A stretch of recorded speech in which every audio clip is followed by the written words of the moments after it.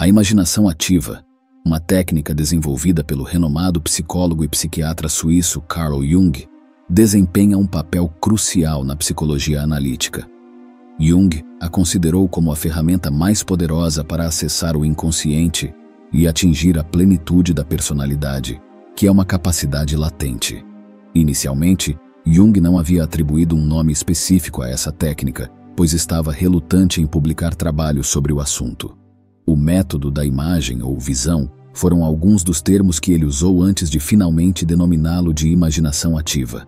Essa técnica se assemelha a um diálogo com as várias partes do eu que residem no inconsciente. É como um sonho, porém ocorre enquanto se está completamente acordado e consciente.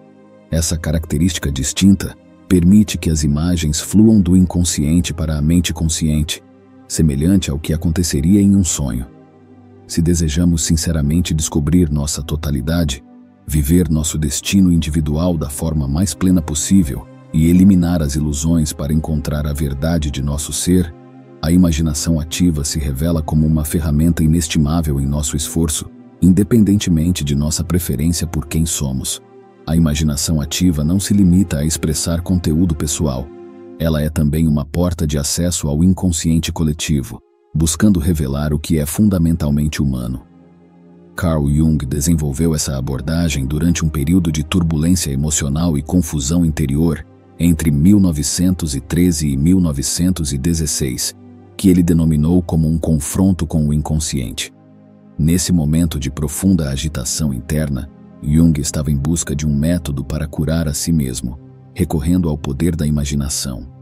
Ele escreveu: Foi durante o advento do ano de 1913 que decidi dar o passo decisivo. Eu estava sentado à minha mesa mais uma vez, pensando sobre meus medos. Então me deixei cair. De repente foi como se o chão literalmente cedesse sob meus pés e eu mergulhasse nas profundezas escuras. Após a visão na qual Carl Jung encontrou figuras estranhas de sua imaginação em uma caverna escura, ele descreveu-se como coberto de sangue imaginativo, sentindo um jorro espesso e experimentando náuseas. Ele continuou a ter visões em que o tema do sangue era frequente, incluindo visões de milhares de cadáveres, e até mesmo o mar transformando-se em sangue. Notavelmente, esse período ocorreu pouco antes do início da Primeira Guerra Mundial. Jung embarcou em uma aventura imaginativa, que ele descreveu como sua experiência mais desafiadora, e reconheceu que para observadores superficiais poderia parecer loucura. No entanto, ele enfatizou que não se tratava de uma doença, mas sim de uma experiência consciente e intencional. Jung manteve uma ligação sólida com o mundo real, mantendo seus compromissos familiares e profissionais como psicólogo, e, portanto, não permitiu que seu inconsciente o dominasse. Durante esse período, Jung iniciou diálogos com forças que não eram simplesmente extensões de si mesmo, mas sim arquétipos provenientes do inconsciente coletivo. Ele identificou o que chamou de imaginação mitopoética, como um intermediário fundamental entre a consciência e o inconsciente, abrangendo tanto o inconsciente pessoal quanto o inconsciente coletivo. O importante na imaginação ativa é deixar as fantasias ou os sonhos seguirem seu curso. A maior dificuldade para a maioria das pessoas ao iniciar a prática da imaginação ativa reside na sua iniciação. No entanto, é crucial destacar um cuidado fundamental que todos devem ter antes de embarcar nessa jornada. Algumas pessoas podem se perder completamente no fluxo de imagens, incapazes de retornar ao aqui e agora da realidade comum. Seus pensamentos mergulham profundamente no reino da fantasia, e elas lutam para recuperar o contato com o mundo real. O inconsciente é uma força poderosa, e ao buscá-lo devemos fazê-lo com respeito e cuidado. Embora a imaginação ativa seja, em essência, uma experiência solitária, é aconselhável ter alguém próximo no início, caso alguém se sinta dominado pela imaginação.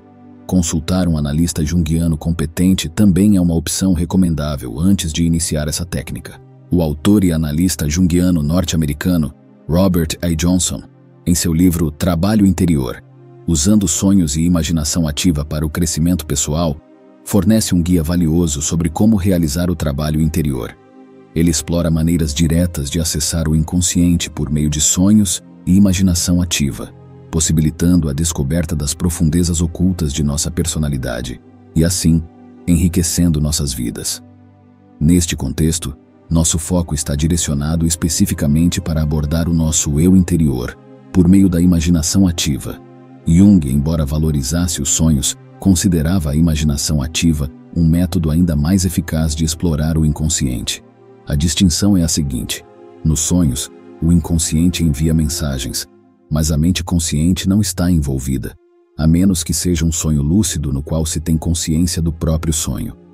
Na imaginação ativa, por outro lado, a mente consciente participa ativamente. O ego adentra o mundo interior, interage, dialoga e até mesmo se envolve em conflitos com as figuras e situações encontradas.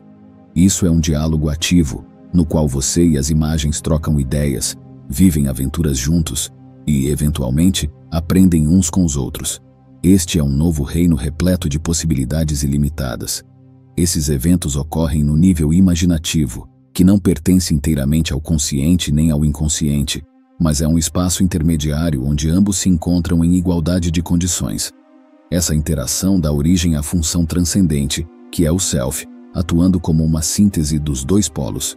É importante notar que a imaginação ativa é distinta da fantasia passiva comum. A fantasia passiva é como um devaneio. Você apenas observa passivamente o fluxo de fantasias que ocorrem no fundo de sua mente, como se estivesse assistindo a um filme. Você não participa ativamente e, consequentemente, não resolve questões importantes.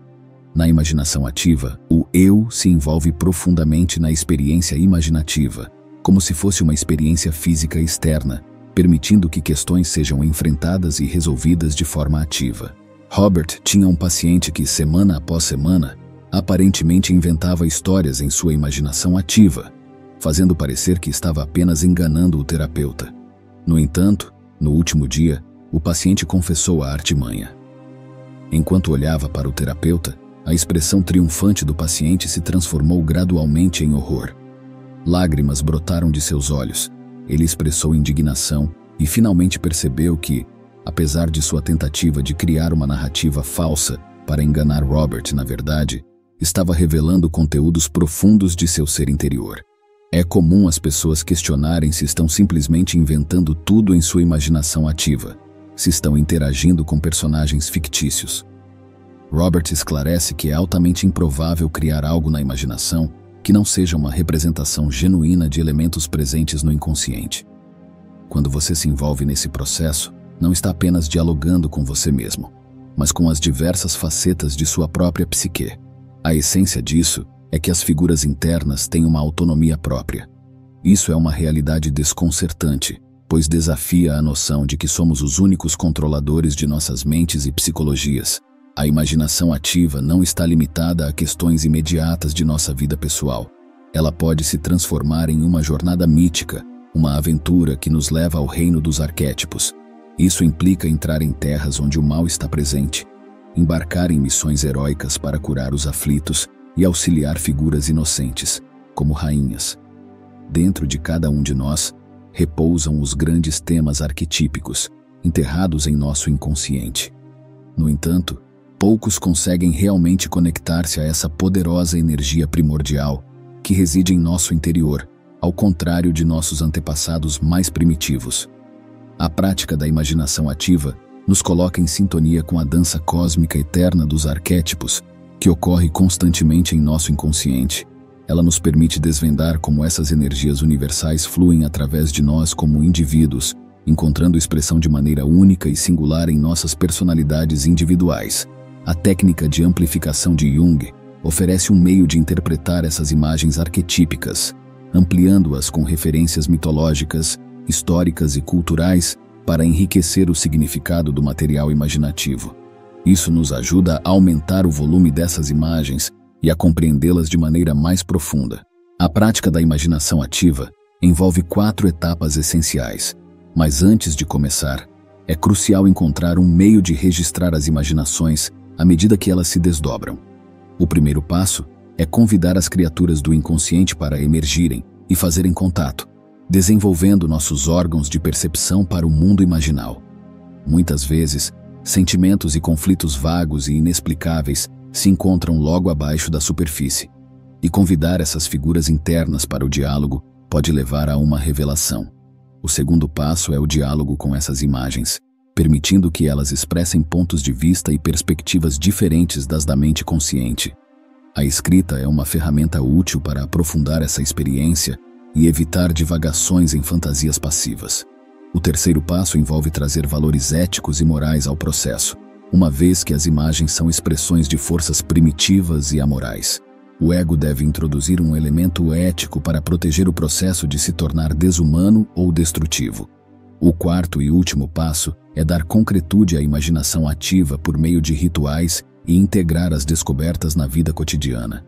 É importante não projetar conflitos internos nas relações externas e confundir a realidade interna com a externa.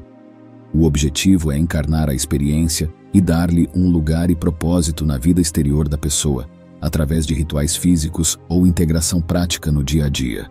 Em suma, a imaginação ativa é uma jornada interior que envolve diálogo com figuras do inconsciente, trazendo ética e valores, e, por fim, incorporando suas lições no mundo exterior. Essa prática, embora desafiadora, pode levar a uma compreensão mais profunda de si mesmo e ao enriquecimento da vida cotidiana. Cada ritual deve ser personalizado com base nos elementos do seu eu interior. É recomendável que os rituais sejam simples e discretos, pois, surpreendentemente, esses tendem a ser os mais eficazes. Os rituais mais poderosos são geralmente aqueles que envolvem uma dimensão física, são realizados em solidão e mantidos em silêncio, pois essas características permitem que eles penetrem mais profundamente no inconsciente. Frequentemente, na cultura ocidental, tendemos a intelectualizar e usar palavras como substituto para dar experiência emocional direta. No entanto, há uma necessidade significativa de envolver nossos corpos e nossos sentimentos, conectando-nos mais profundamente com as experiências emocionais e espirituais. Através da prática da imaginação ativa, é possível expandir constantemente a consciência ao enfrentar e explorar conteúdos que antes eram inconscientes. Esta abordagem pode desempenhar um papel inestimável, por si só, no processo de cura de um paciente que se engaja nela, desde que seja orientado por um analista experiente. Muito obrigado por sua atenção. Continue conosco e veja este vídeo ao lado que você vai gostar. Se gostou deste vídeo, deixe o seu like para ajudar na divulgação e inscreva-se no canal para acompanhar os próximos vídeos. Até a próxima!